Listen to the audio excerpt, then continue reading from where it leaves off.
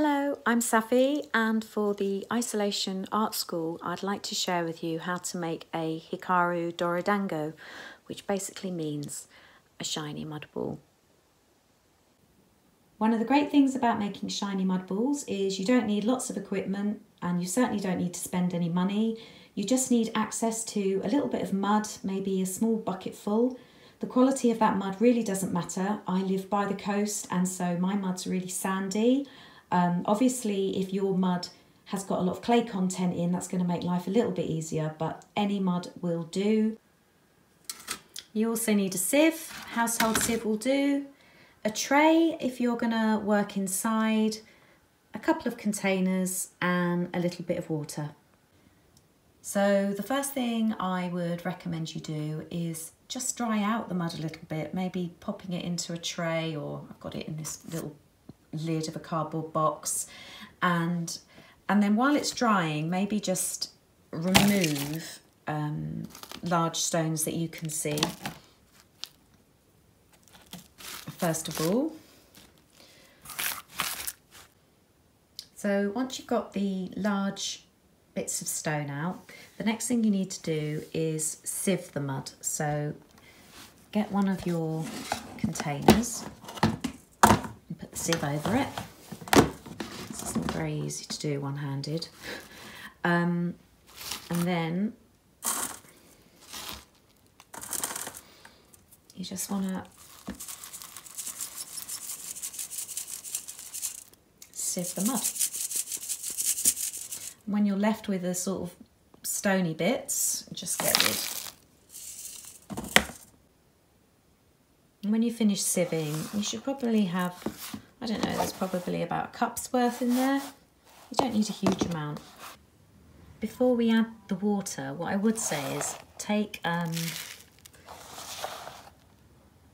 a couple of handfuls out of the box that you've sieved um, into a separate pot because we'll need that later. And then the next thing you need to do is add the tiniest bit of water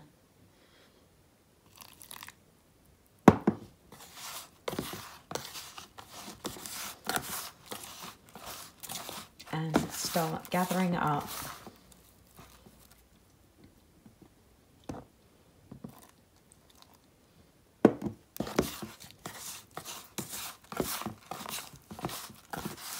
to make a ball.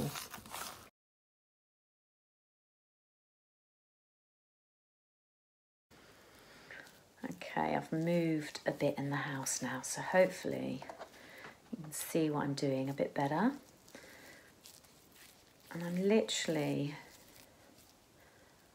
just forming a sphere as best as I can.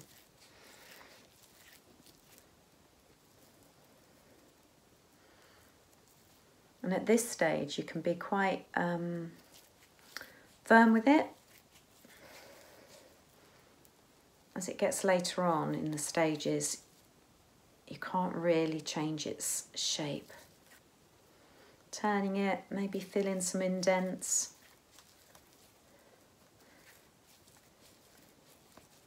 Just try and get it into a sphere as best you can. It's really windy outside, so I'm not working in the garden. And obviously not everyone's got access to a garden, so um, it's quite good that I'm able to show you this is the sort of thing that you can do in your living room or kitchen or wherever. And it doesn't have to create loads of mess. Obviously if you're working with small children it could get a little bit messier but you know it's only dirt, it's not like acrylic or plaster or any of these other materials that you spend hours afterwards trying to clear up we've all got into the habit as well of washing our hands, so I don't feel I need to give any health and safety reminders about working with dirt from the outside. Actually, one bit of equipment I forgot to say you're going to need is a, is a plastic bag. Yeah, I've said the word plastic. I kind of, if I ever order anything online, kind of keep stuff like this. So if you've got like a Ziploc bag, that's great, carrier bag, or um, possibly could put it in uh, a plastic container, but we need to protect it underneath. I'll show you what I'm going to do in a minute. So when it's in a nice ball shape, what you want to do is pop it in the carrier bag, seal it, or tie it up, or put a band around it or something. And then you don't want it, it's still really quite soggy and soft, so you don't want it to get a soggy bottom. So what you want to do, and I'll just see if I can lift this here, is you just kind of want to make a little nest for it. You know, I've kind of got a little tea towel here. After about half an hour or an hour, take it out of the um, bag and you'll see it's, it's really um, wet. And what actually is happening is um, when it's sealed in the plastic bag, it's drawing out the moisture from inside of the ball, which is which is what you want. So when I say half an hour to an hour, you know, when I first started making these, I was really sort of diligent with the timings.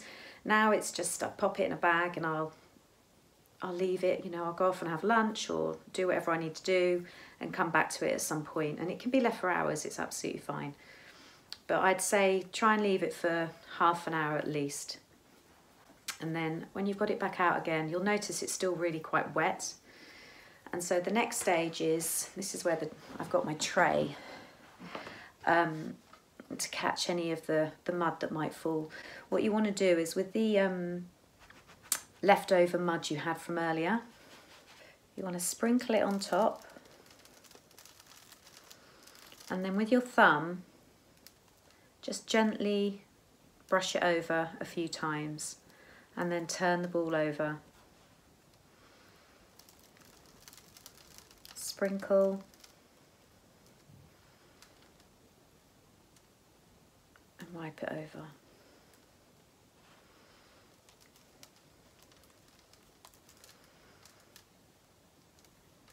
But with this first round or the first couple of rounds, I wouldn't do it for too long, maybe sort of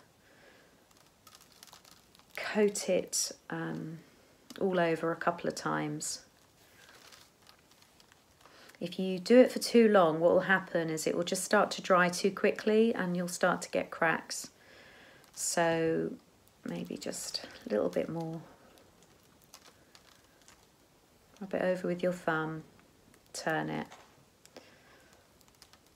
Sprinkle, rub over with your thumb and turn it. Just be really, really gentle with it. And then pop it back in its bag.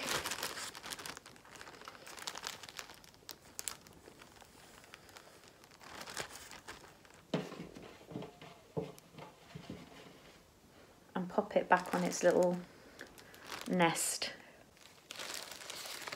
And again, after about half an hour, take it out of its plastic bag and just carry on with this sprinkling method. If at any point the ball does start to crack, um, just pop it back in the bag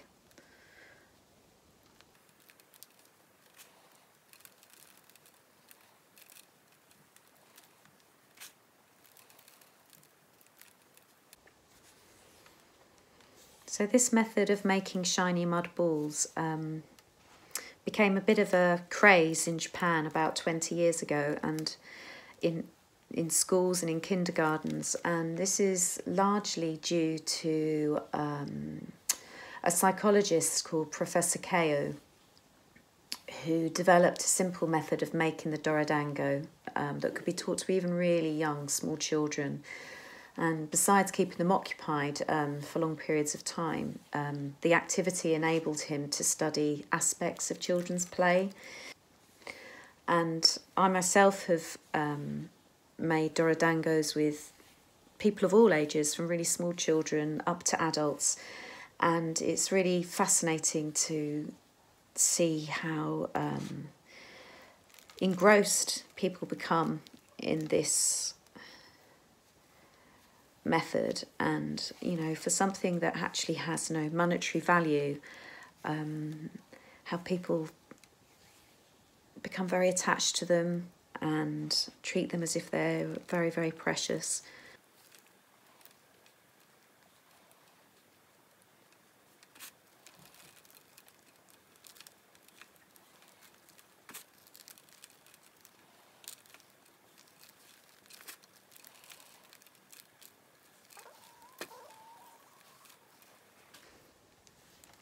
Who says you can't polish a turd? And again, pop it in its bag for half an hour or more. Make sure you pop it on its little cushion and then come back to it in a bit.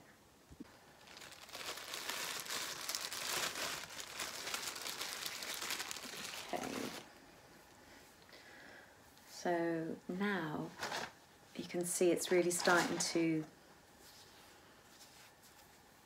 dry. It's starting to look a little bit smoother.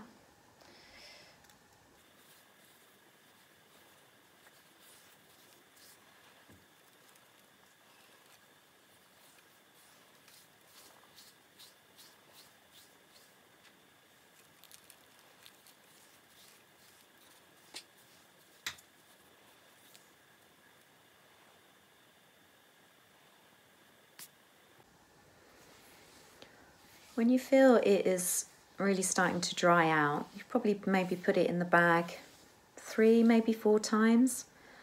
Um, the next stage is it's possibly going to be using your tray or if you're outside just um, on the like a patio slab or something what you want to do is just rub your hand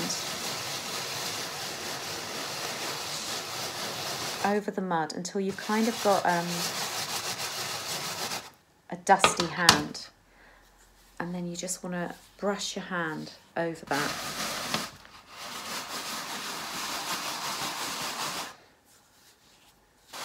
And what's happening here is basically we're starting to polish it. But you just want the dust. You just want that. That's all you need.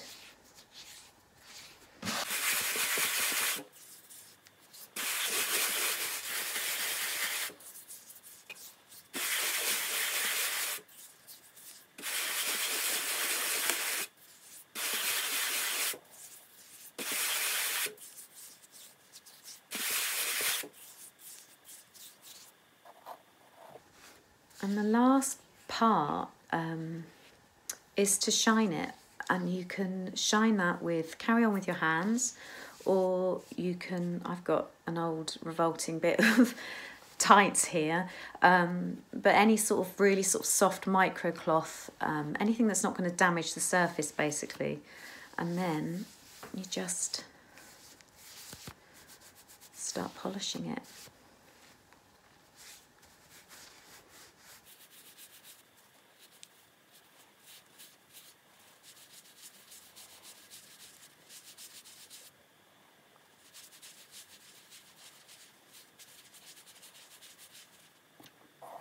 So some people like to varnish their mud balls or even paint them. I don't. I kind of feel like it defeats the object a little bit, but um, they're your mud balls, so do what you like with them.